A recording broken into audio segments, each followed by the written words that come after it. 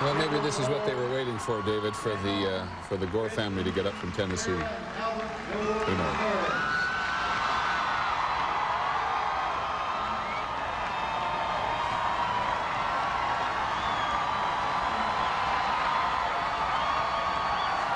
Who would have believed it 12 months ago? Very few.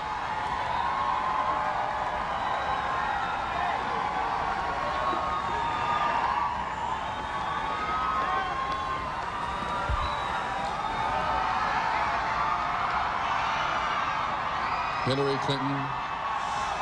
Donald Chilson. Yeah. Hillary Clinton, the first first lady with a postgraduate degree. She's a law degree.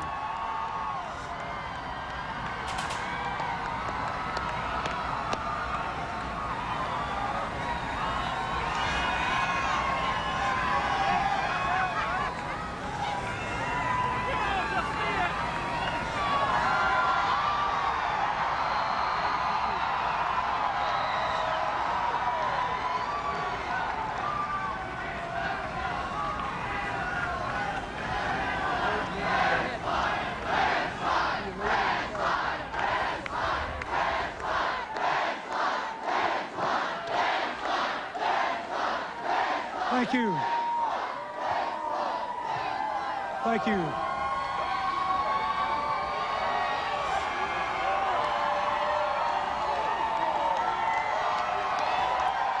Thank you very much. Thank you. Thank you.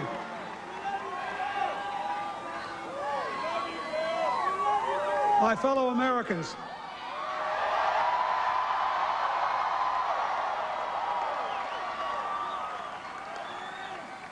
on this day, with high hopes and brave hearts, in massive numbers, the American people have voted to make a new beginning.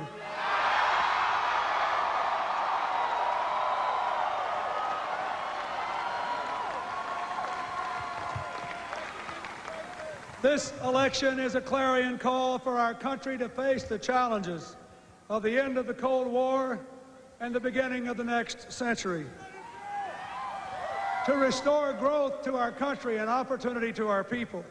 To empower our own people so that they can take more responsibility for their own lives.